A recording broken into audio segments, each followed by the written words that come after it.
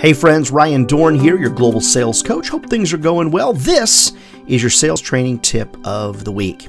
Love for you to consider what I like to call the 20 60 20 rule of time management.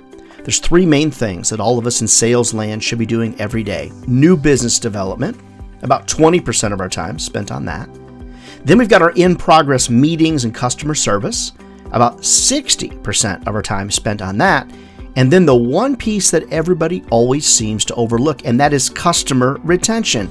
About 20% of our time should be spent on that. But why, Ryan? Isn't new business development more important? Well, I don't think there's either more important than the other, but I do know this. It takes five times the energy and five times the money to get a new customer. So why don't we retain like crazy and do everything we can to keep our customers for a lifetime? So remember the 20 60 20 rule. Map out your day and make sure you're spending about 20% of your time on new business, 60% of your time on meetings and customer service, and then another 20% on retaining those customers for a lifetime.